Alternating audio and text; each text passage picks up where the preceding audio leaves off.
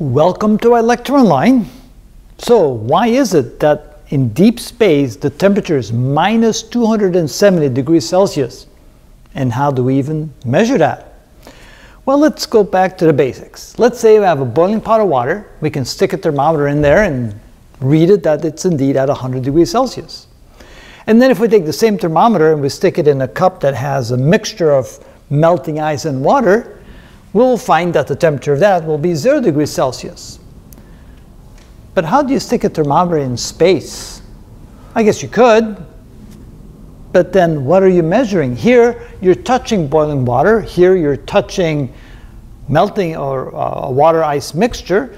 If you put a thermometer in the air, then you're measuring the temperature of the air.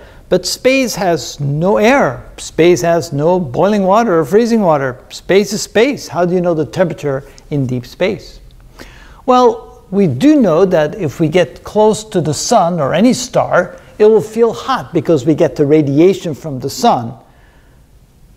But if we go really far away, where the sun is just a tiny little dot in the sky, just like another star, we're so far away from the sun and any other star that we simply do not feel the heat radiation from those stars, virtually zero, then what will be the temperature?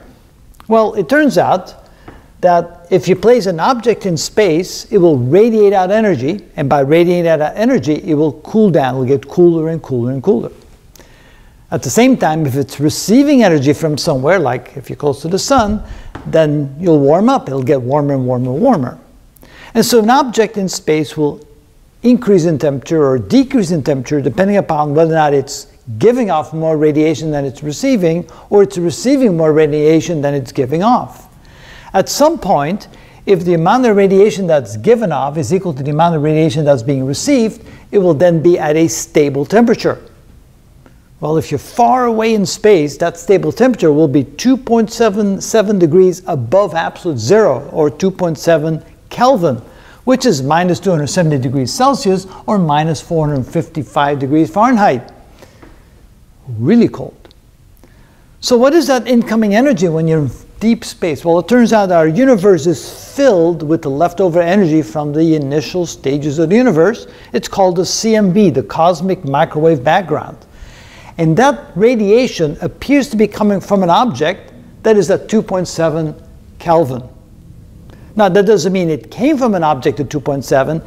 It is of the frequency and wavelength as if it is coming from an object at 2.7. So when, it, when you receive that CMB radiation, it will do a little bit of good, a little bit of heating up, and at the same time, the object will be radiating out, and when that incoming radiation is equal to the outgoing radiation, the object will be at a temperature of 2.7 Kelvin, the same temperature of that imaginary object that the CMB is coming from and that is therefore the temperature of deep space. It is simply the temperature that an object will become if you place it in deep space so that the outgoing energy is equal to the incoming energy, and that will then be the final temperature, which, by the way, is then the temperature, as they say, of the CMB, the cosmic microwave background. And so, yes, it's pretty cold. Uh, traveling through deep space, you have to deal with the fact that you are going to be at a temperature near absolute zero. The object you're traveling in is just going to continue to, to radiate out energy until the hull of the object is at 2.7 Kelvin. And if you don't want to freeze to death inside, you have to somehow keep supplying energy to keep heating up the inside, which will then continue to radiate out energy because eventually it wants to be that 2.7 Kelvin. So traveling through deep space will be very challenging to stay warm enough. Bring your thermal underwear.